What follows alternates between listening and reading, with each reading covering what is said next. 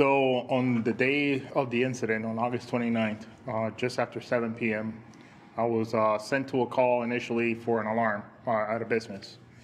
Um, I was already on the road with my K9 partner, K9 Caesar. We just cleared the call when dispatch comes through uh, to all the units in the department that there was a vehicle that had overturned on Interstate Route 480.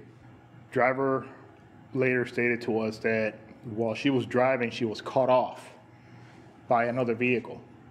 So when she was cut off, she went into the grass, and that in started the chain reaction of the rollover.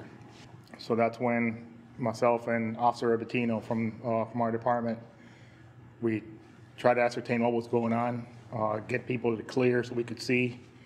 Uh, the driver had already exited the vehicle along with one of the children, but there was still somebody trapped. And once I heard that there was a little girl trapped, that to me was a trigger. I said, we need to get her out. Uh, one of the Good Samaritans that had stopped initially uh, kept saying, she's not breathing. So, or she's turning blue. And that to me was a sense of urgency. So I climbed inside uh, the vehicle and seeing that the roof was pretty much a little bit caved in. The other kid was sitting at, and it sits directly behind the driver's seat. So I cut the seatbelt in that, got it out. Then I could just see the car seat, but I could not see her head or her face. What I remember distinctively about that seat is that, it, and I couldn't, the reason why I couldn't see her head was the fact that it was one of those car seats that are high back that it, it cradled her head. And that in itself grew, helped keep her head intact during the rollover. That was not allowing me to see her and not allowing me to ascertain whether she was okay or whether she was breathing. All I know is that she needed help and I need to get her out. And when I saw her arms, basically she was just, her arms were just like dangling upside down. And I would say that in the background, the mother that was outside already with one of her kids calls out the name. And it was re echoed by one of the Good Samaritans there. So when I heard the name Addison being called, it made it much more personal. It felt more personal for me because my daughter's name is Addison.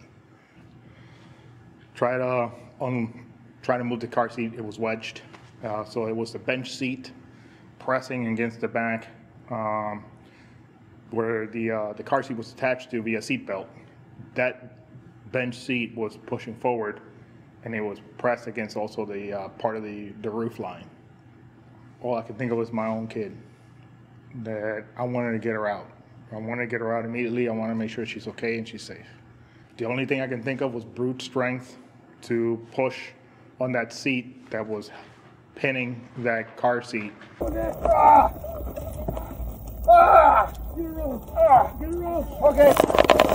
I, when you're faced with a situation like that, is you don't hesitate. Hesitation takes time. I cut the seatbelt that was attached to her car seat, and I moved her intact with her with the car seat all out because I was afraid that I would cause more harm if I didn't do so. It's just it's chaotic inside. I was overwhelmed by the emotion of it. And it had to be scary for her. Everybody was just gathered, and it was just overwhelming at the moment. Uh, where, you know, it's like, hey, give me some room. I need to get her out. So I'm I'm trying to get myself out, and then get her out without being cut because there was so much glass. Myself and Nasser Abatino got her out, and then I just carried her off, kept her in the car seat, and I we just I just sat on the side of the road with her until the uh, squad came. I saw her once. I saw their eyes were open, and she was just calm as a cucumber. She was uh, the cutest little thing. All I could think of is wanting to even talk to my own daughter at the moment, and to see how she was doing, just to talk to her. So later on, come to find out, I, I uh, severely sprained my quadricep muscle and and around the knee, where it was couldn't do anything. So I've been my last day at work was this that exact same night. And being out that long was too much for me. I got to see the little girl doing an, uh, a separate interview that we were doing. She was present there with her mother. So that was a huge, huge relief for me to know that we were able to help her and that she was safe. So that was worth it to me.